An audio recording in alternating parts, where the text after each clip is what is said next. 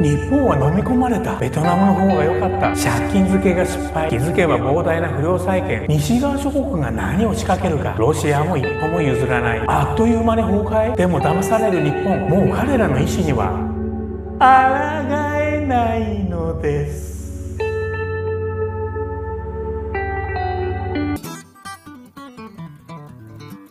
はい、大楽の窓です。今回は中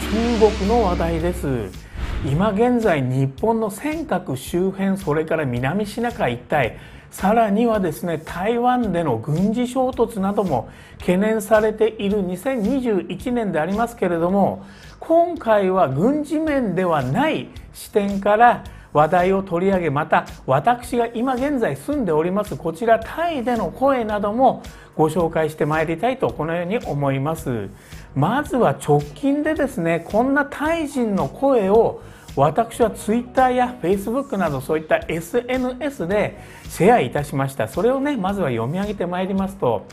あるタイ人の声パナソニックが中国シフトを加速するという話を聞いたけど中国生産品ってすぐ壊れるんですよね。タイからベトナムへ移管した白物家電ならまだ品質は良いのですがでもこの流れ消えそうな中国の一帯一路戦略に日本がまだ取り込まれているということなのかな？というねこういうタイ人の声をまずは SNS でご紹介しました。まあ、消えそうなというところなんですけれどもね本当に最近ちょっとですね一帯一路の話がネット上でもあまり聞かれなくなった。ただですねこういったことにこういう流れにですね私たちは決して気を許してはいけません。騙されてはいけません。そんな視点からもですね今回は話を進めてまいりたいと思います。はいまず1つ目ですね。こんなニュースをご紹介します。バイデンアメリカ大統領中国の一帯一路に対抗。新経済圏構想を提案ということでこちらはですね2021年度3月27日時事通信社の記事でありますヤフーで紹介されておりました。バイデンアメリカ大統領は26日ジョンソンイギリス首相との電話会談で中国の巨大経済圏構想一帯一路に対抗するため民主主義国家が連携して途上国の開発を支援する構想を提案した。構想の詳細には触れなかったが支援対象国を借金漬けにするとの批判もある。中国に対抗し質の高いインフラ投資を主導する狙いとみられるということですけれどもね。まあね中国は要はですね発展途上国に対する経済支援というところに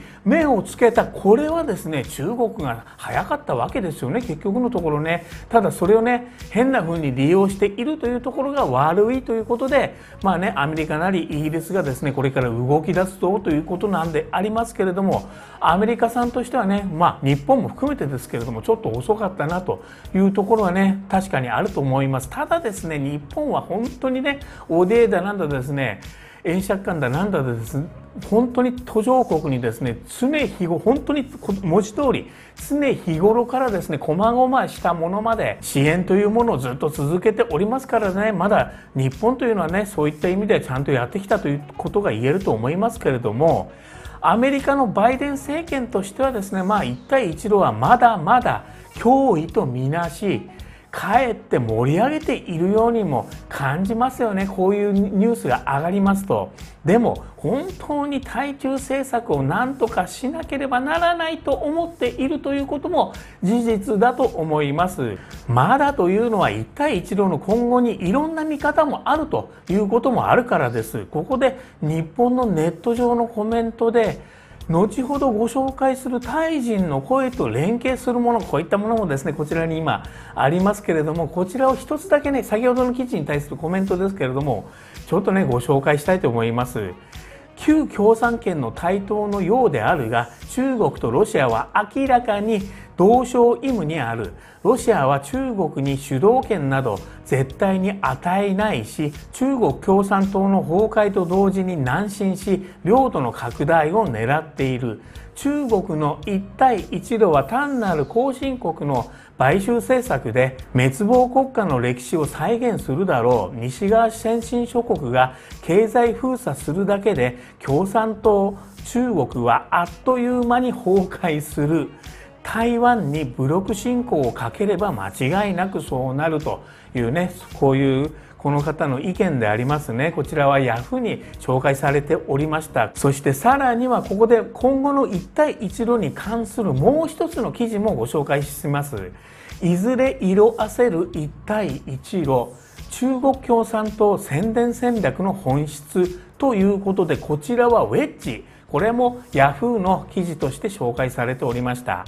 最近では総循環という言葉が発明された。国内大循環を主とするが国際大循環も維持するという新たな経済政策を意味しているという。要するにアメリカに頼れないのでなるべく生産も消費も国内で完結する方が良い。全てを自力構成で賄えるわけではないので対外経済交流も続けるが内需拡大を主としていくという至極普通のことを言っているに過ぎない。だがなんとなく総循環と聞くと幻惑されすごい政策が登場したかのような錯覚に襲われる。これが中国共産党が長年にわたって磨き上げた統治技術であるというねこういう記事であります。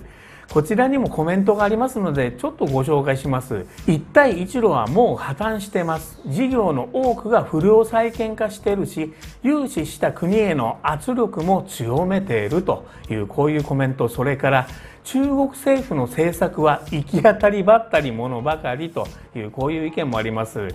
これとはまた違った意見のコメントも見られました。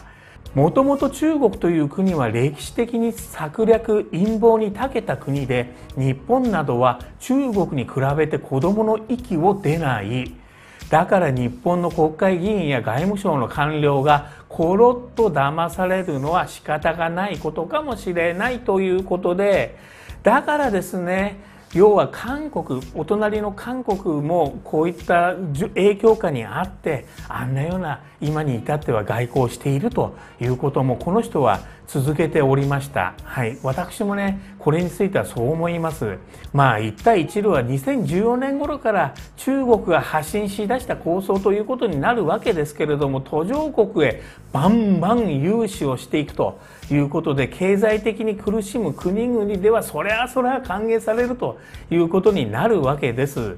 中国国内でもその事業でまた逆に大忙しになって、まあ、経済が潤るということで景気が良かったわけですよね。しかし日本円で60兆円約60兆円とも言われる融資総額がどんどん不良債権化してくるという状況に今に至ってはですねなってしまっているそれがどんどん膨れてくるということでもうこれは限界なのではないかなという見方が広がったわけです。ただ貿易収支においては対日そして対米ともに中国はいまだにね黒字を出しているということですから商売ベースではまた別の見方もあろうかと思います。しかしこの後話題にも上りますけれども中国そして現在のロシアさんこの2カ国が覇権拡大を今後はやめようというねそんな動きになろうはずは決してないということはその国の指導者自身が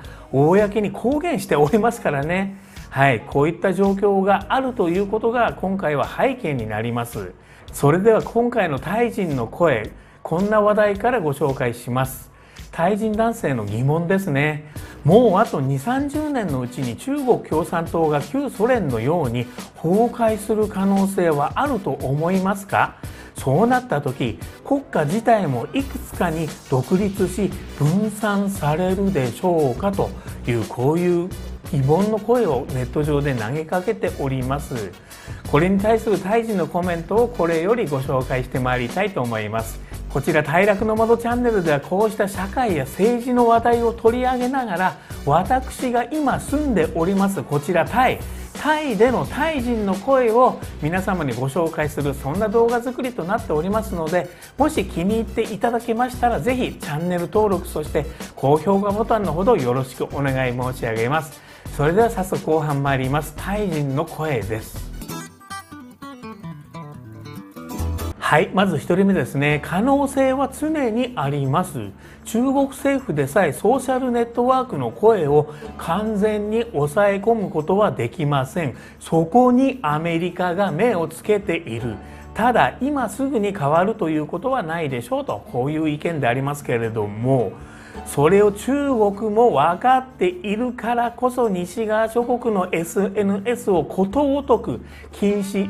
そして遮断するということでさらには自国の SNS を作っていったわけですよね。今まあ LINE が危ないと盛んに騒がれておりますけれどもそもそも今回の騒動以前に私は使い方次第で全部危ないよと前からね言ってまいりましたただどこまで自分の個人情報がサーバーに残るかそれをね自分自身で許容するかだけの話だと思います。日本製の SNS でサーバーを日本に置けばそれは日本の例えばね民間企業なり政府に吸い上げられるというだけの話であります。ただそこで例えば中国や韓国に吸い上げられるのと日本に吸い上げられるのどっちがいいのかという話には当然なりますけれどもそこでね当然日本のがよかろうというそんな意見はあろうかと思いますけれどもいずれにしてもそういった意味では自国の SNS をすぐに作り上げた中国産この中国産の行動というのはやっぱり日本としても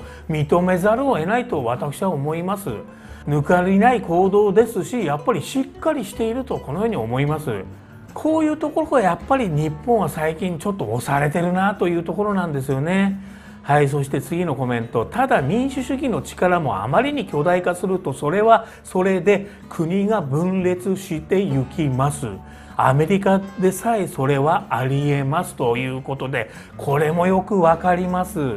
さっきの大統領選挙でも両陣営が例えば分かれてトランプ派バイデン派ということで2つになりました。その両方の声があまりにも強かったのでそれこそ南北戦争時代のようにアメリカが2つに分断されてしまうのではないかという声さえ上がったくらいですからね。はいそして次のコメント。中国の指導者の嗅覚はものすごく鋭いですよ。おそらくこの先100年以上は今の体制で乗り切るのではないでしょうかというこういう意見もあります。さあこの辺はどうでしょうかね。私は今の体制がそのまま続く今のような言動行動も含めて言動が続くということであれば私は100年以上持ってもらっちゃ困るということもやっぱりあるわけですけれどもその辺はよそ様の国の話ですからどんな人が政権を握ろうがそれはご勝手ですけれどもよそ様の国に反対に迷惑をかけるのであれば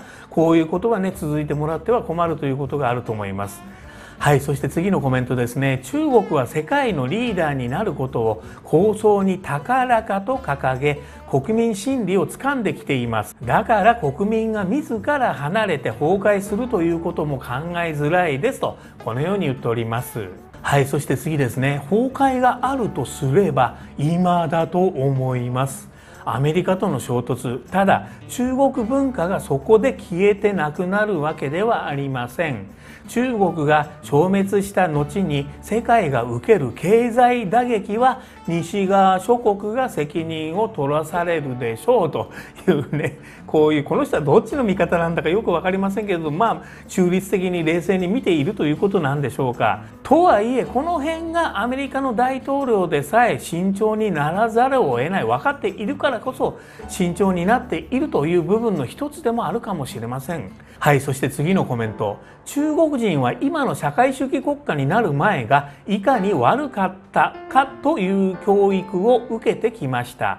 現政権体制が経済をうまく運営し続ける限り政変が起こることは考えづらいでしょう。国の体制が何であろうと中国人は本来経済的に反映すれば良いという思考であるとも思いますとこんな意見でありますまあ中国商人という言葉は世界中で有名ですからねまあ私たちが昭和の時代から中国商人というそういう一つの見方がありました。はいということで今西側諸国が行う対中政策の要は軍事以上にやっぱり経済ということになるのかもしれませんね。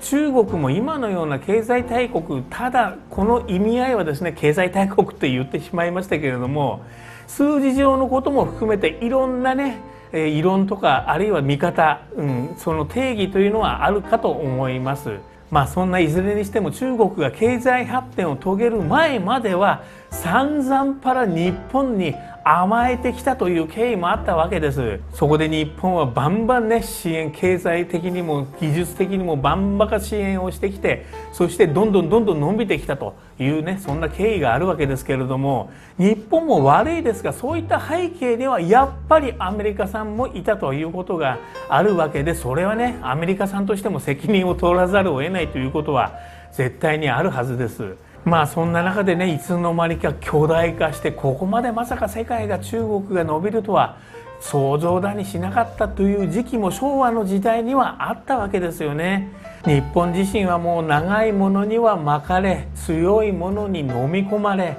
大国が敷いたベルトに乗っかってとことこ歩き出すそんな感じではねもうこれ以上進まないということだと思います。皆様は今回の話題タイ人のコメントにつきましてどのようなご感想ご意見をお持ちになられましたでしょうか？ぜひコメントのほどお待ち申し上げております。また高評価ボタンチャンネル登録のほどよろしくお願い申し上げます。それではまた次の動画でお会いしましょう。バイバイ。